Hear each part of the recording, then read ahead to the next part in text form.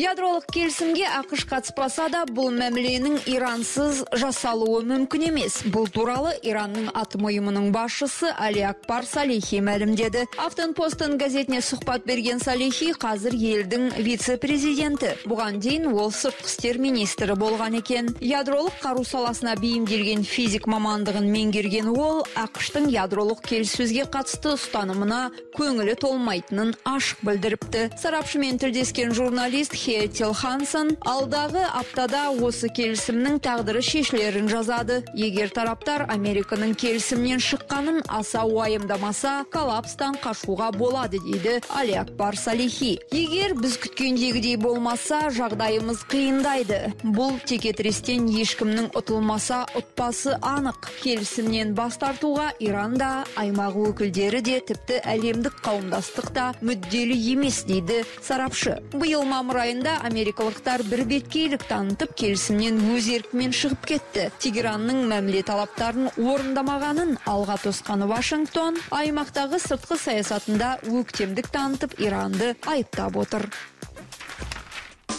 Ақш пен қытай арасындағы сауда саласындағы кикілжің ушыға келе 300 мың америкалық өндірушіні қиын жағдайға қалдырды. Fox ньюстың жазуынша бейжің мен вашингтон арасындағы текетірестің зардабын ең алдымен шаруалар сезіне бастады. Соя бағасының арзандауы себепті америкалық 30 штаттағы 300 мың шаруа шаш етектен шығынға батып отыр. Трамп енгізген баж салығына жауап ретінде қытай халық республикасы соя бұршағы секілді сырттан әкелінген қолөнер тауарларға белгіленген тариф көлемін арттырды. Өнімді жинауға небары бір ай уақыт қалса да елде бұл өнім түрі барған сайын құлдырау үстінде. Былтырғымен салыстырғанда өндірушілердің табысы 6 миллиард долларға аз болмақ. Жалпы алғанда ауыл шаруашылығы саласы 14 миллиард долларын жоғалтуы мүмкін. Бұл америкалық соя өндірушілер қауымдастығының болжамы. Егер жинаған өнімді қазіргі бағамен сатсам түсер пайдам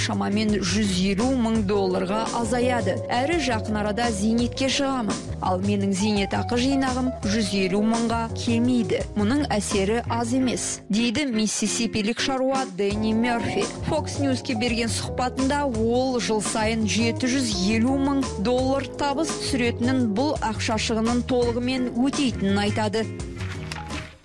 Елдегі әлеуметтік қамсыздандыру жүйесінің жұмысына көңілі толмайтынын білдірген швеция азаматтары салықтың көптігіне наразы деп жазады блумберг материал авторлары аманда билнер рафаэл линдберг және николас магнуссон әсіресе денсаулық сақтау саласы сынның астында қалғанын баяндайды. Маман қабылдауына кіруді күткен немесе жасалар операцияны 90 күннен астам уақыт күткендердің қатары 2014 жылмен салыстырғанда шамамен үш есеге өсіп елу мың адамға жетіпті. Дәрігерлердің жетіспеуіне байланысты көптеген жүкті келіншек дәрігерге қарала алмайды. Бұл аздай медициналық орталықтар жабылып жатыр. 10 миллион тұрғыны бар швецияға 600 мыңнан астам босқын келген екен. Мигранттардың саны артқан сайын елдегі қылмыстық жағдай ушыққан. Әрі полицияда қимылдар емес. Шведтердің көбі мұны салықтың мөлшерімен байланыстырады. Ақпан айында жарияланған зерттеу кезінде өздерінің салықты шектен тыс мөлшерде көп төлейтінін айтқан өкпелі азаматтардың қатары 45 пайызға өскен. Бұл 2014 жылғы көрсеткіштен 27 пайызға көп деп жазады блумберг елдегі мүшелері көп әлеуетті партия саналатын социал демократтар да сайлаушыларынан айырылып жатыр.